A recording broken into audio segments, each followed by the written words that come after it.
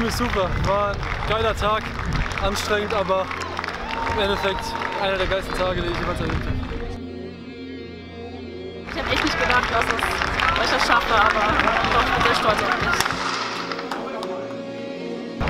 Eigentlich besser als ich gedacht habe. Ich habe gedacht, Ivo kriege ich ein Defizit, aber jetzt hier ohne Defizit rauszugehen, das ist echt toll. Die Asterhelfer haben auch mega äh, Stimmung gemacht in der Gruppe und haben uns nochmal alle richtig gepusht. Also es hat richtig Bock gemacht.